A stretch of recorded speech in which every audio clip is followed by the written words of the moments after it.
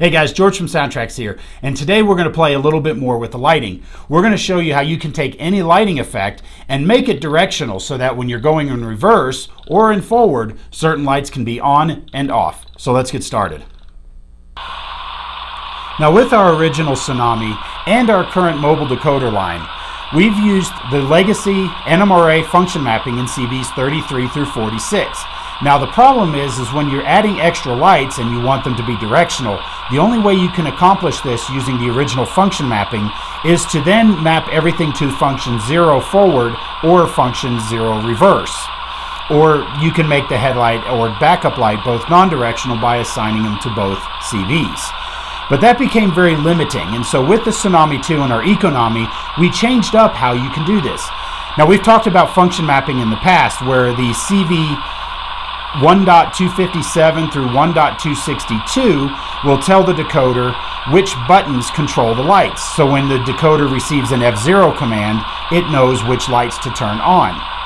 But in CVs 57 and 58, we can actually set the lights up to be directional.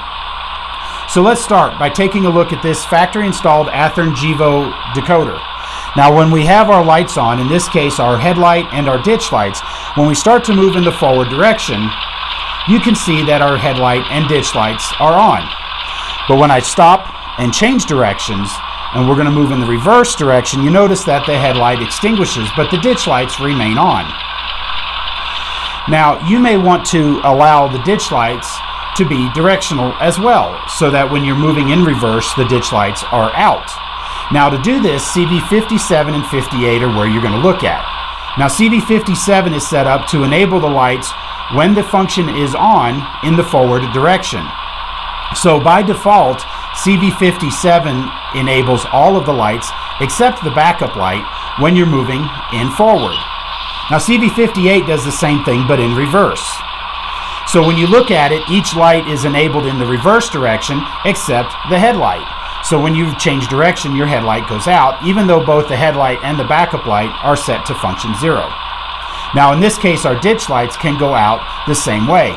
So let's, for argument's sake, say that these lights are wired to the FX3 and the FX4 lighting effect. And we're going to disable all of the lights except the reverse light.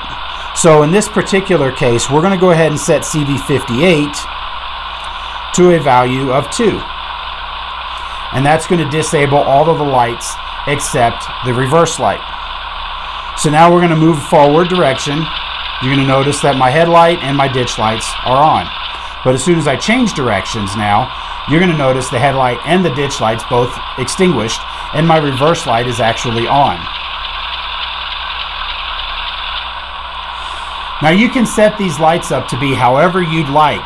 So if you have a strobe light, for example, on the top of the locomotive, or if you have other lights on that you want to be directional, then you can go through CV 57 and 58 and enable them directionally. Now that we've showed you how to do that, now you can refer to our manuals page and see the Tsunami 2 and the Econami User's Guides for more detailed information on how to set these lights to be directional. If you have any questions, we're a phone call away with our support department or email us at support at soundtraxx.com.